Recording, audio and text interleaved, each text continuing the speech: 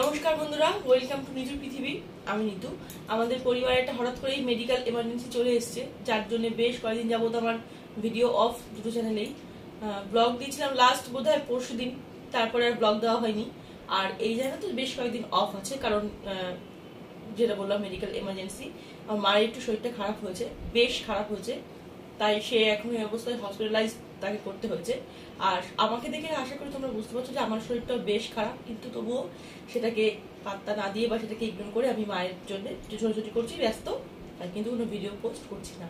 আর যেহেতু আমি মনে করি এটা আমার দায়িত্ব বা রেসপন্সিবিলিটি তোমাদের সঙ্গে কানেক্ট থাকি সারাক্ষণ, এই দীর্ঘদিন অফ তাই সেই রিজন হিসাবে কিন্তু আজকে এই ভিডিওটা করা, ছোটটা ভিডিও করা।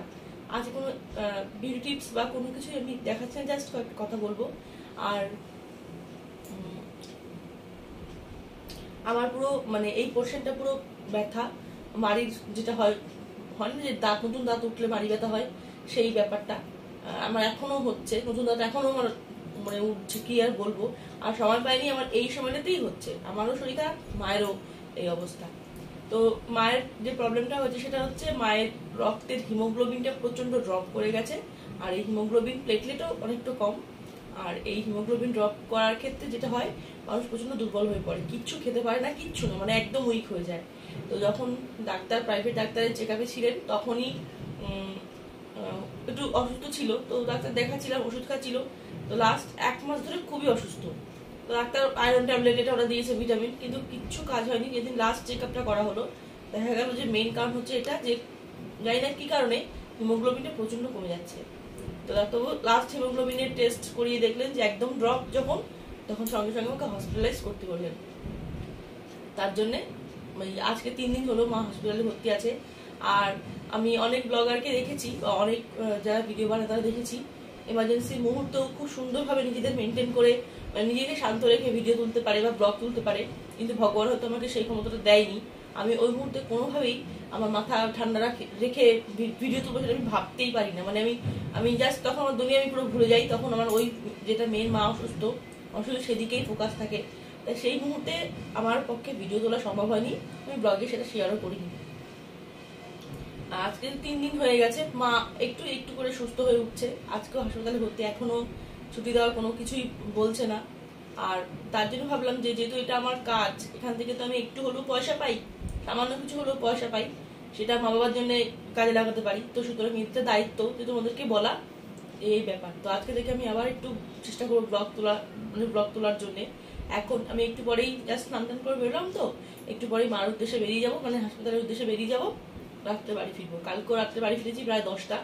আর পরশুদিন সারা রাত মার সঙ্গে হাসপাতালে আমিও ছিলাম। কারণ আমার মা একটু হাসপাতাল মাত্র একটু ভয় ভয় পায়। অনেকেই আছে হয়তো এই ম্যানিয়াটা তো মাকে রেখে চলে আসব, আয়া দিয়ে সেটা আমার পক্ষে সম্ভব হচ্ছিল না।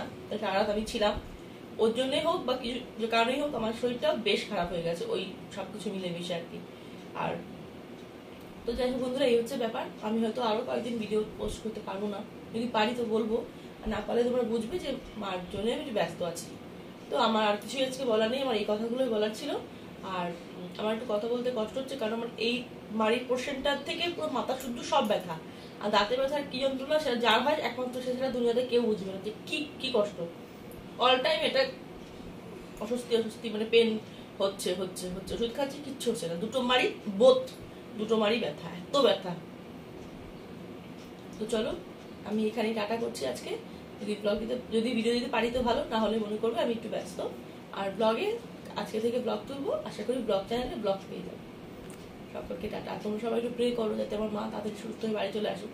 কারণ নিজে অসুস্থ হই মানা যায়, ঠিক আছে, নিজে অসুস্থ শুয়ে থাকি, বিশ্রাম করি, সেরে যাব। কিন্তু মা বাবার কিছু হলে আমাদের মতো সন্তানদের পুরো দুনিয়াটা উল্টোপাল্টা হয়ে যায়। ওই যে বললাম ওই মুহূর্তে ব্লগ তুলবো না কি কোনো কাজ করব খাওয়া দাওয়া কিচ্ছু মাথায় আসে না। একটা লাস্ট কথা বলে, তোমরা শুনলে অবাক হয়ে যাবে। যেদিন মাকে ভর্তি করতে হলো, সেদিন আমি দুপুরবেলাতে বিএমআরসি আমাদের ব্যারাকপুর নার্সিংহোম সেখানে নিয়ে গেছিলাম। ডাক্তারবাবু সাজেস্ট করলেন এই ধরনের পেশেন্টকে নার্সিংহোমে ওই ওই নার্সিংহোমে নিয়ে গেলে ট্রিটমেন্টটা খুব ভালো পাওয়া যাবে। এমার্জেন্সি হবে আর কি।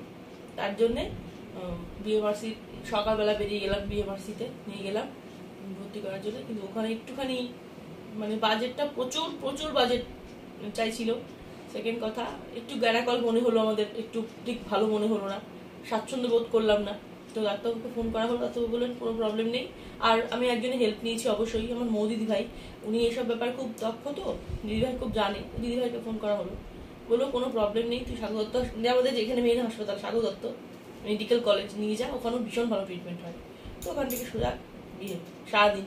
তো সেই সারাটা দিন, সকাল দশটা টু সারা রাত মানে রাত একটা দেড়টায় মনে হলো, আমি তো বাথরুম যাচ্ছি না মানে আমার এতই আমার শরীরে এরকম হয়ে যায়, বা আমি এরকম হয়ে পড়ি ওই মুহূর্তটা আমার তেষ্টা বা হয়তো গরমে জল টল খেয়েছি বাট আমার বাথরুম হয় না। মানে আমি শরীর আমি পুরো অন্যরকম হয়ে যাই আমি মেন্টালি শরীরই সব মানে শারীরিক দিক থেকে সব দিক থেকে। আমার এইরকম টেনশন হয়। এবার জানি না এটা আমার রোগ বা কি কিছু। একটু স্ট্রেস হলেই আমার এই প্রবলেমটা হয়। আর সারাক্ষণ আমি ঘামতে থাকি টেনশনে তো এই যাই হোক বন্ধুরা, তিন দিন এভাবে কাটিয়ে ফেললাম। আজকে তিন দিন, তিন দিনের দিন আজকে সকালবেলা। তো আমি একটু পরে বেরোবো। যদি পারি ব্লগ তো আজকের ভিডিও আমি এখানে শেষ করছি। যদি ব্লগ যদি এই চ্যানেলে ভিডিও পোস্ট করতে পারি, তাহলে তো খুবই ভালো। দেখা যাক পারি কিনা। তোমার সবাই আমার সঙ্গে থেকো। আমার এই মুহূর্তটা একটু খারাপ যাচ্ছে তাই। চলো, টাটা। আর কিছু বলছি না